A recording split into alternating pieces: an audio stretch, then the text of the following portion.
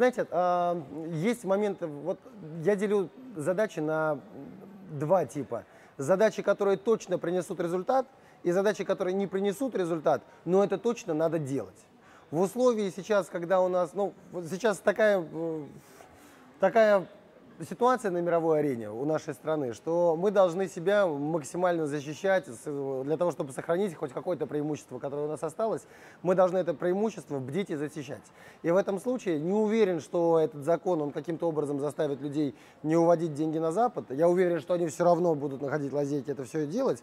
Но, безусловно, как одна из сотен мер, а, комплекс которых должен привести к тому, чтобы наши деньги оставались в стране и а, люди были преданы своему отечеству, Отечеству, это мера правильная. Она правильная с понятийной точки зрения. Я считаю, что в, в, том, в той ситуации, в которой наша страна находится сейчас, это было правильно, а вот насколько это будет в, отдельно от всего остального эффективно, ну, конечно же, малоэффективно. Но сделать надо, естественно.